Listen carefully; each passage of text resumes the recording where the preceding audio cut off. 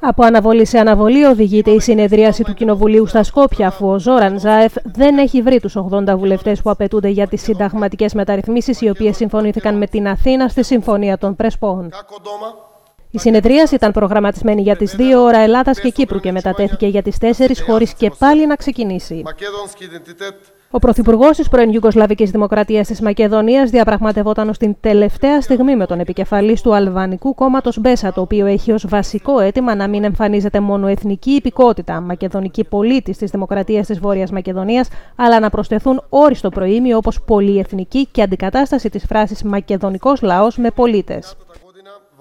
Αν ικανοποιηθούν αυτά τα αιτήματα, όμως, οι οκτώ ανεξάρτητοι βουλευτές πρώην του ΒΜΡΟ που είχαν υπερψηφίσει την έναρξη των τροποποιήσεων δηλώνουν και πάλι ότι δεν θα υπερψηφίσουν, ζητώντας να μην αλλάχθει η υπηκότητα μακεδονική πολίτης της Δημοκρατίας της Βόρειας Μακεδονίας. Τονίζουν μάλιστα ότι αυτή είναι η συμφωνία με την Ελλάδα και πως αυτό είναι το μεγαλύτερο όφελος της συμφωνίας, καθώς ενισχύει την μακεδονική ταυτότητα. Αψηφώντα το τσουχτερό κρύο έξω από το Κοινοβούλιο, συγκεντρώθηκαν εκ νέου διαδηλωτές που ζητούν να μην προχωρήσουν οι συνταγματικές αλλαγές.